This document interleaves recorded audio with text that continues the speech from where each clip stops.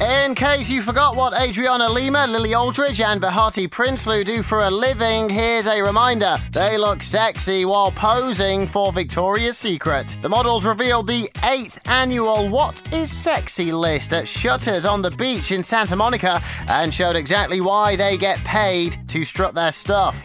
Lily donned a simple blue wrap frock, and Adriana sported a sexy full length purple number, while Behati looked gorgeous in a print mini dress.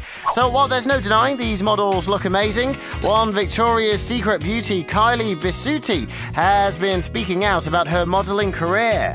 Kylie, who gave up her career for her Christian faith, told the Today Show that modeling made her feel exploited and sexualized, explaining how despite being tiny, she was considered fat and added that she's thankful God changed her heart. She has written a book called I'm No Angel From Victoria's Secret Model to Role Model. And while her claims have angered the lingerie giant, she says she isn't trying to single the company out. Instead, she just believes the modeling industry as a whole really exploits young girls.